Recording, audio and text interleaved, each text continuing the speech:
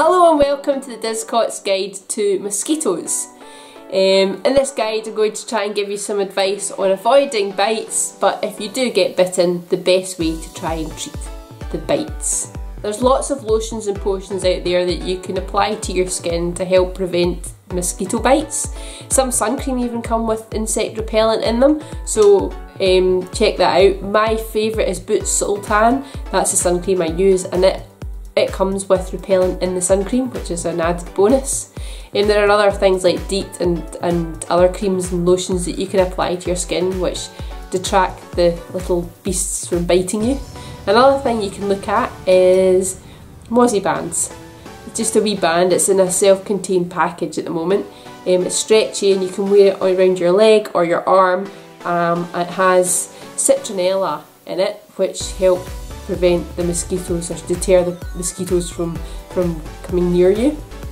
And the added bonus of the mosquito band is you don't need to apply anything to your skin, you can just um, put it on.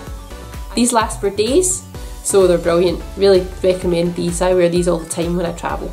There is another rumour that having a lot of vitamin B in your body helps prevent or detract insects from biting you. Um, you can get vitamin B supplements from your chemist um, to take maybe a week or so before you travel. I'm not sure whether or not this works. I certainly find when vitamin B is higher in my body, I don't tend to get as many bites. Unfortunately, if you do get bitten, there are a couple of things you can do to help the irritation. Firstly, don't scratch the bite, tempting as it is. When you do this, it gets worse, itchier, and more irritated. So try your best not to scratch. Um, you can get products to add that reduce the itchiness, something called Afterbite. Um, they recommend you apply that to the bite as soon as you possibly can.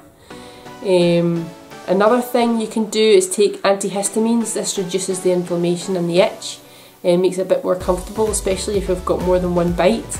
Thank you very much for watching the Disscot's Guide to Mosquito Bites, Insect Bites. If you like this video, please give us a thumbs up please like us on Facebook, follow us on Instagram and Twitter, and please leave comments. We love to hear from you. And remember to check out our website, disscot.com. Thank you.